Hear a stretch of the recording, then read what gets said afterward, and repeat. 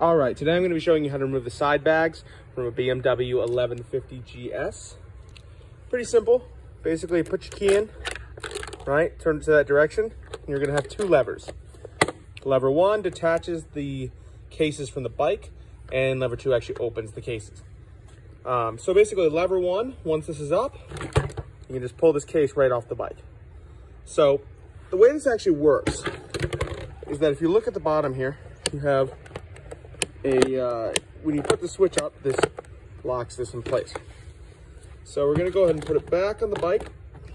It's a little bit tricky to do with one hand. Best way to do it is kind of angle it upward. I'm gonna give you an epic camera view that you can't see anything in so that I'm able to do that and put it back on the bike.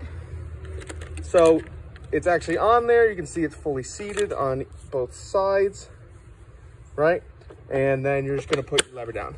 So once it's actually on, I like to check it in two ways. I do a little lift up here, here. And if you actually feel under, you can feel that mechanism gripping underneath this bar here. So hope that helped you.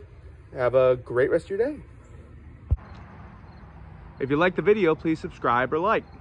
If you didn't like the video, please don't. Bye.